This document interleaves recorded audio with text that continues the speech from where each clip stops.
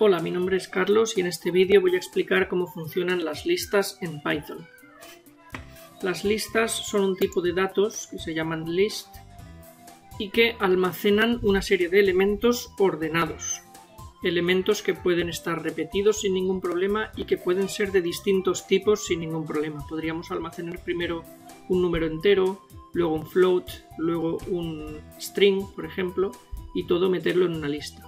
Matemáticamente esto corresponde más o menos a lo que se llama una secuencia, porque podemos acceder al primer elemento, al segundo, al tercero, etc. Hay otros tipos de datos, como por ejemplo un set, que es lo que matemáticamente llamamos un conjunto. Un conjunto que no puede tener repetidos. Sin embargo, en las listas sí que puede haber repetidos. Entonces, vamos a ver algunas instrucciones interesantes y cómo funciona este tipo de datos. En primer lugar, para definir una lista se utilizan los corchetes y si los ponemos sin nada, pues definimos una lista vacía. Si yo ejecuto esta instrucción, la variable nada es una lista de tamaño 0 y está vacía. Y si la muestro por pantalla, pues muestra los corchetes sin nada. Si ejecuto esta otra instrucción, pues la variable, la, variable nums tendría estos cuatro números, 1, 2, 3 y 100. Y la podemos ver aquí. Podemos pinchar dos clics aquí para acceder a la variable y poder ver todos los elementos. a su vez, cada elemento vemos que tiene tamaño 1 porque podrían ser listas. Uno de estos elementos podría ser una lista con n elementos y formaríamos lo que se llama una lista de n dimensiones. vale, más cosas. Si mostramos esto, pues sale esa lista podemos acceder a los ítems de esa lista con el índice del ítem. Recordemos que en Python, como es base 0, este 3 sería el cuarto elemento. Y podemos también modificar esa lista, cosa que no ocurre con otros tipos de datos como por ejemplo las tuplas, que son inmutables. Una lista es mutable y la podemos ir redefiniendo sobre la marcha. De esta manera, nums de 3 pasaría a valer 200, ya se ha actualizado aquí, y si mostramos otra vez la lista, pues ahora el último número es 200. Podemos hacer, por ejemplo, una lista de strings, como esta de aquí. Nuestra lista tiene ahora tres strings diferentes y ahora pues si mostramos esa lista se muestran todas. Si mostramos el ítem menos 1, el ítem menos 1 sería el anterior al 0, o sea que sería el último, pues debe mostrarnos el último de todos, Sonia. Es correcto. Si mostramos el ítem menos 2 sería el penúltimo, que sería Luisa. Vamos a verlo. Correcto. Luego, si mostramos, por ejemplo, desde el 1 en adelante, como el 1 es Luisa, pues mostraría Luisa y Sonia. Esto produce un resultado que es una lista de dos strings. Esto de aquí son strings. Sin embargo, esto es una lista de strings.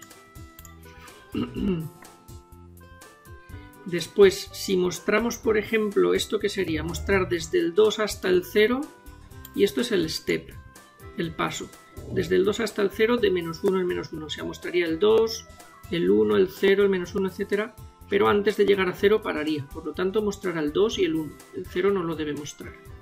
Esto lo vemos aquí y muestra primero Sonia, luego Luisa y luego cuando va a llegar a Marcelo no lo muestra. Si queremos que muestre todos en orden inverso, tendríamos que ponerle desde el último hasta el final. No le decimos qué final es porque no sabemos si es hacia adelante o hacia atrás. Hasta el, final, sin poner número, de menos uno en menos uno. Y de esta manera, pues muestra todos. desde el último o desde el que queramos empezar. ¿eh? si queremos mostrar, por ejemplo, los n primeros en orden inverso, pues pondríamos por ejemplo desde el 1 hasta el final de menos 1 en menos 1 y nos muestra los dos primeros pero en orden inverso. ¿vale? Si le digo que muestre desde el principio hasta el final en orden inverso, sin poner números, pues me muestra lo mismo que en el primer caso.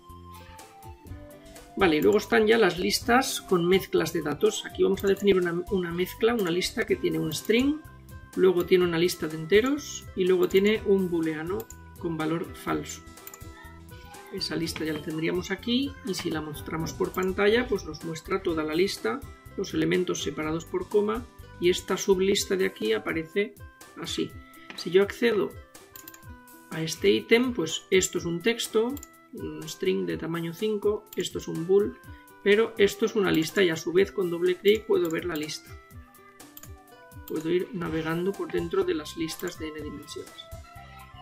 De esta manera yo podría ahora acceder dentro de mezcla al ítem número 1 que es este y dentro de ese ítem al ítem número 2 que es el último de todos. Y esto me debe mostrar un 6. Y aquí lo tenemos. O sea que con múltiples índices accedemos a, digamos, los elementos de los elementos de la lista. Si yo accedo, por ejemplo, a mezcla de 0, mezcla de 0 es un string, pues el elemento 3 de ese string es la t minúscula, 0, 1, 2, 3. Entonces yo ejecuto y tengo una t minúscula. Si muestro la longitud de mezcla como lista, pues tiene tres elementos. Pero a su vez, mezcla de 0 es un string que tiene 5 elementos. O sea que puedo acceder a la longitud de la lista o a la longitud de cada elemento. Vamos a ver también cómo mezclar varias listas. Yo defino ahora la lista colores y la lista ordinales, que son todo strings. Y ahora me creo una nueva lista que es una concatenada después con la otra. Eso se hace igual que con los strings, con el signo más ejecutamos y mostramos por pantalla y ahora tenemos los seis elementos en una única lista.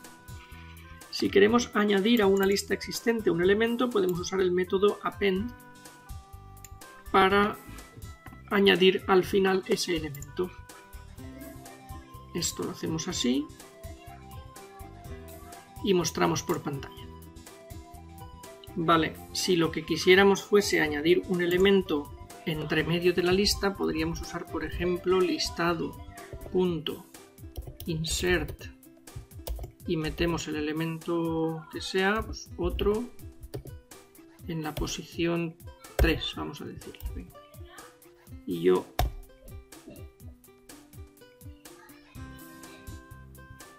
Ay, que lo he dicho al revés. En la posición 3 el elemento otro. Ah, sí, sí, había hecho mal.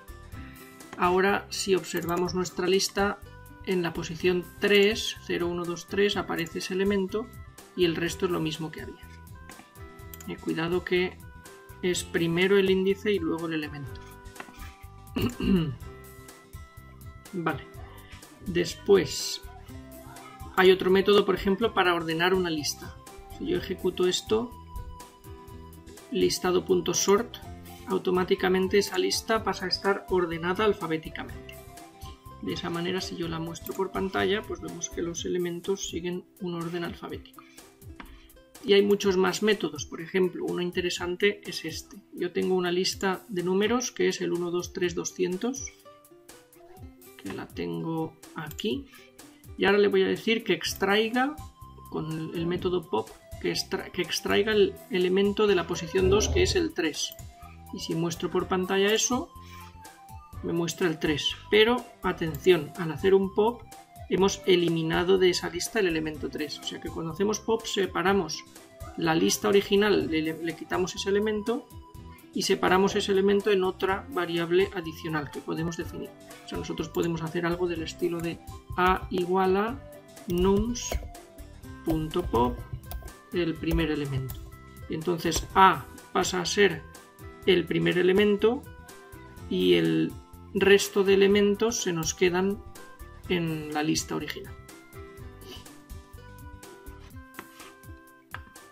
Y finalmente, ya está, esto ya es el final. Pues si ejecutamos esto nos mostrará la lista, que actualmente solo tiene el 2 y el 200 porque hemos hecho este, esta ejecución y ya está. Bueno, pues hasta aquí la explicación de cómo funcionan las listas en Python. Un saludo.